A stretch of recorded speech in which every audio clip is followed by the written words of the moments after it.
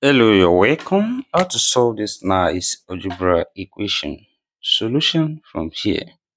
To find the value of x and y, which are members of positive integers. Then, from what we have here, we can write it from difference of two square. When we have a square minus b square, which the same thing as a plus b into brackets, open brackets, a minus b.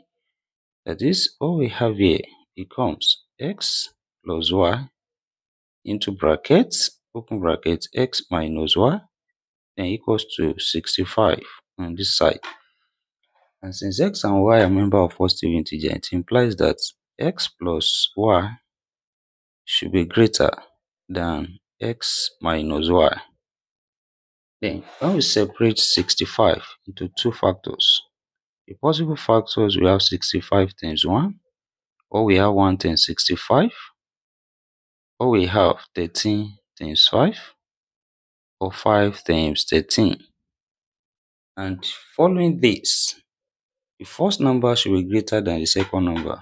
When we consider that here, this satisfies the condition, and this will not, this also satisfy, and this will not satisfy. So we have two cases here. Let's consider the first case as case 1, which is 165 times 1. It implies we can rewrite this equation now and we have x plus y into bracket, open bracket, x minus y equals to 65 times 1. That is, here the first bracket is 65, we have x plus y equals to 65 and the second bracket is 1 that is x minus y equals to 1 then we can solve these two equations simultaneously. When we had we eliminate y x plus x that's 2x equals to 65 plus 1 that's 66 and we divide both side by 2 divide there by 2 so divide this by 2 2 cancelled each other this becomes x equals to 66 over 2, that's 33. Then we can find the value of y from this second equation. That is, we have x minus y equals to 1. Then x now, which is 33, minus y equals to 1. Then taking 1 to this side, minus y there, becomes 33 minus 1 equals to y. That is 33 minus 1, that's 32 equals to y. And therefore, y equals to 32. And we can write out the solution here form of x comma y which is equals to 33 comma 32. Now, let's consider the second case as well. This we consider here as the case 2, which is 13 times 5.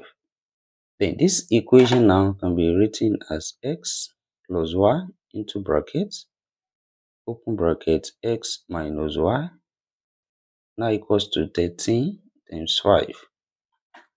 That is, the first bracket here is 13, and we have x plus y equals to 13 and second bracket is 5 that's x minus 5 x minus y equals to 5 also we solve these two equations simultaneously. When we had there we eliminate y. X plus x that's 2x then equals to 13 plus 5 that's 18 and when we divide both sides by 2 divide this side by 2 divide this by 2 2 cancel each other here we have x here equals to 9 then also we get the value of y can use the second equation, which is x minus y equals to 5. And x, that's 9. We have 9 minus y equals to 5. Also, taking 5 here minus y there, we have 9 minus 5 equals to y. And 4 equals to y, which implies y equals to 4.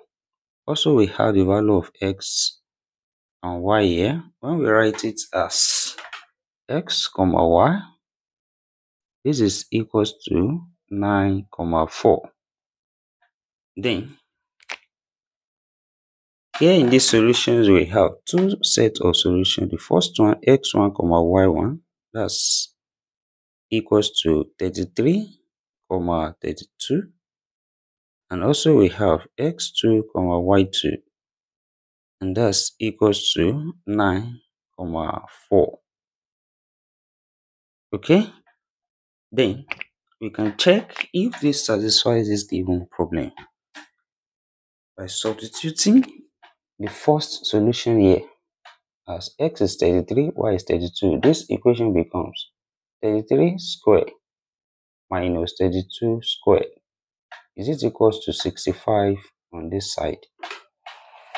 And 33 square means 33 times 33 when we multiply that? 33 times 3 times 3 9 also 3 times 3 9 3 times 3 9 also 9 we have this we have 9 this is 18 write 8 take 1 this is 10 now. So we have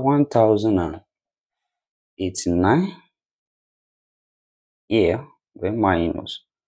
Also 32 square that's 32 times 32 here you have 2 times 2 4 2 times 3 6 3 times 2 6 3 times 3 9 when we had we have 4 this is 2 then this is 10 as well. 1024 is it equals to 65 here?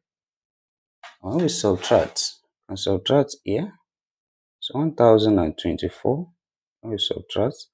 9 minus 4 that's 5 8 minus 2 6 then this becomes 0 0 so here we have 65 that is this side is 65 which is equals to 65 here. And therefore we have left hand side equals to the right hand side. That is this first solution here satisfies this given equation so we substitute the second solution here which is 9 comma 4 and the equation we have here becomes 9 square minus 4 square is equals to 65 on this side. And we have 9 square 9 times 9, that's 81 minus 4 square 4 times 4, 16 is equals to 65 from here. And 81 minus 16, that give us 65, which is equals to 65 here. Also, left hand side equals to the right hand side. And therefore, we conclude that the second solution here, name comma 4, satisfies the given problem as well. And thank you for watching. Don't forget this step. Subscribe for more videos. Turn the notification bell on. Share this video, give it a thumbs up, and put your comments. See you next class and bye for now.